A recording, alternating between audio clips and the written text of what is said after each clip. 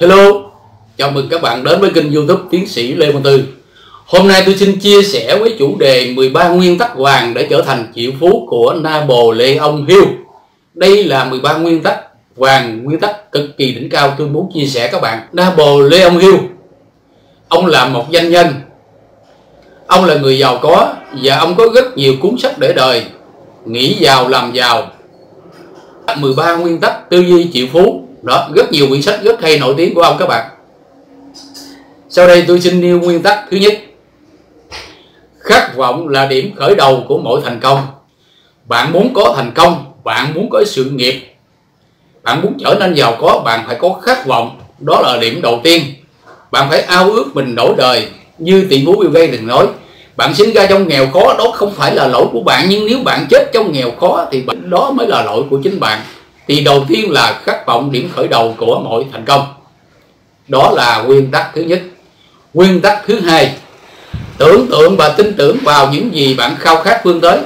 Khi bạn đã có mục tiêu, khi bạn đó đã có lý tưởng, thì các bạn hãy tưởng tượng và tin tưởng vào những mục tiêu, những cái mục đích mà các bạn muốn vươn tới.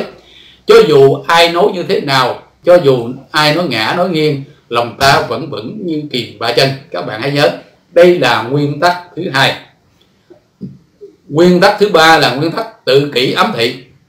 Tự kỷ ám thị là gì? Bạn phải có những lời tuyên bố, bạn phải có kế hoạch hàng ngày. Ví dụ, bạn muốn hoàn thành một công trình dự án nào đó, bạn phải nói rằng, tôi sẽ hoàn thành dự án này, tôi sẽ hoàn thành dự án này, tôi sẽ hoàn thành dự án này, tôi sẽ hoàn thành dự án này một cách xuất sắc. Bạn thường xuyên lặp lại, bạn thường xuyên nói như thế. Bạn thường xuyên nói rằng, tôi sẽ kiếm được rất nhiều tiền, tôi sẽ trở thành người thành công, tôi sẽ trở thành người thành công, tôi sẽ trở thành người thành công bạn thường xuyên đọc trước gương, bạn thường xuyên đọc với bản thân, bạn thường xuyên tuyên bố như thế. Thì có nhiều người trách tôi rằng tại sao anh tuyên bố nhiều quá, tại sao anh nói nhiều quá, tại sao anh dám nói như thế? Bởi vì nếu không nói như thế, mình sẽ không cố gắng, mình sẽ không quyết tâm hành động. Đó, các bạn hãy nhớ. Tự kỷ ấm thị một khi bạn đã dám tuyên bố thì bạn sẽ quyết tâm còn bạn không dám tuyên bố bạn không dám nói thì bạn không làm được gì cả. Các bạn hãy nhớ phương pháp tự kỷ là giúp người ta bắt buộc bản thân mình phải đi theo cái hướng mình đã tuyên bố. Các bạn hãy nhớ điều này. Nguyên tắc thứ tư định hướng và phát huy kiến thức chuyên môn. Các bạn hãy like các hãy comment phía dưới các bạn hãy like comment phía dưới. Phía, phía sau còn rất nhiều kiến thức hay các bạn hãy like comment phía dưới các bạn. Phương pháp thứ tư là định hướng và phát huy kiến thức chuyên môn các bạn muốn thành công, các bạn muốn giàu có, các bạn muốn bán hàng thì các bạn phải giỏi về sản phẩm, các bạn phải giỏi về kiến thức chuyên môn của mình. Người ta nói rằng, bạn muốn thành công, bạn muốn giàu có, bạn phải dẫn đầu một lĩnh vực nào đó, bạn phải là số một một lĩnh vực nào đó. Vì vậy, các bạn phải định hướng và phát huy kiến thức chuyên môn của mình. Đó. Về nguyên tắc thứ năm về tưởng tượng. Tưởng tượng nó sẽ tạo ra sự sáng tạo, nó sẽ tạo ra sự đột phá, nó sự tạo ra sự đổi mới. Các bạn hãy nhớ trong kinh doanh, tôi thường dạy những nhân viên của tôi rằng, và tôi thường hay nói người thân của chúng tôi rằng, bạn phải sáng tạo, bạn phải đột phá, bạn phải đổi mới, bạn phải cách tân, thậm chí bạn phải phá cách. Đừng đi theo lối mòn, đừng đi theo nhạt nhẽo, đừng theo, đi đi theo cái những con đường cũ, mà phải tìm những con đường khác biệt, những con đường sáng tạo. Tưởng tượng nó sẽ giúp người ta sáng tạo, người ta đổi mới, người ta thay đổi, và người ta có nhiều cái cách tân. Các bạn hãy nhớ. Và thậm chí là phá cách một ví dụ điển hình về phá cách của tia chớp, đó là quả táo cắn đi một miếng trong phong thủy phương đông. Người ta cần cái gì tròn trịa, người ta cần cái gì nguyên vẹn thì đó là phong thủy tốt. Nhưng đằng này tia chớp lại biểu tượng một trái táo đã cắn đi một miếng, đó người ta gọi là phá cách. Hoặc trong thời trang, các bạn thấy thỉnh thoảng có rất nhiều cái kiểu màu đen mà nó phá cách. Ý nhiều như quần jean lũng hai đầu gối hoặc ở dưới rìa nó không được mai lợi cẩn thận mà nó đe đua đó. Thì trong cuộc sống, trong kinh doanh, các bạn cần có những cái phá cách, những cái đột phá, có những cái sáng tạo. Hãy nhớ điều này. Và nguyên tắc thứ sáu là lập kế hoạch. Bạn không thể kinh doanh thành công, bạn không thể sự nghiệp thành công nếu bạn không có kế hoạch. Bạn chỉ làm việc tùy hứng, lý qua cầu. Hãy nhớ, hãy luôn luôn có kế hoạch của ngày hôm nay, của ngày mai và của từng này, của từng sau, tháng sau, vân vân, và vân vân. Các bạn hãy nhớ luôn luôn có kế hoạch. Và nguyên tắc thứ bảy là nguyên tắc quyết đoán. Khi các bạn tính toán đã đúng, các bạn lên kế hoạch thật kỹ. Thì quyết đoán thực hiện làm cho bằng, cho kỳ được. Đừng bao giờ do dự, đừng bao giờ làm nửa vời. Các bạn hãy nhớ đó là bảy nguyên tắc. Nguyên tắc thứ 8 là kiên trì. Sẽ không có sự thành công, sẽ không có kết quả nếu bạn không kiên trì, nếu bạn không kiên nhẫn. Các bạn hãy nhớ điều này kiên nhẫn và kiên trì sẽ giúp các bạn rất nhiều trong sự nghiệp, nhất là những khi các bạn làm những chuyện lớn.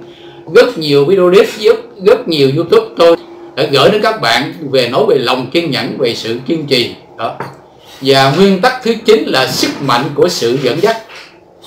Mọi kế hoạch trở nên vô dụng nếu không đủ sức mạnh để biến chúng thành hành động. Một trong những lựa chọn tốt nhất là tìm kiếm sức mạnh và thông qua nhóm trí tuệ ưu tú, có nghĩa là gì? Bạn có kế hoạch, bạn có kiến thức, bạn có hệ thống thì bạn phải đào tạo đội nhóm của mình để hành động cùng hoạt động của hệ thống và trở nên kết quả nó nhiều hơn. Không hành động một mình nhớ. Các bạn đừng bao giờ làm việc một mình, hành động một mình sẽ không có kết quả. Bạn muốn giàu có, bạn muốn sự nghiệp, bạn phải có sức mạnh của thị trường, của khách hàng, của cộng đồng và cái hậu phương của các bạn là gia đình, cha mẹ, anh em của các bạn là hãy nhớ luôn luôn là đội nhóm và nguyên tắc thứ 10 là sức thu hút và tính sáng tạo. Bạn là người kinh doanh bạn là người lãnh đạo của đội nhóm bạn phải có sức thu hút bạn phải có sức thuyết phục bạn phải có niềm tin cho nhân viên của mình.